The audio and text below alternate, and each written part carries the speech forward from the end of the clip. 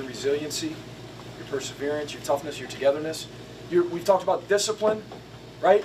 And decisions and poise and overcoming that adversity, right? Mental toughness. My goodness. That's it right there. That's it. We had every reason to lay down.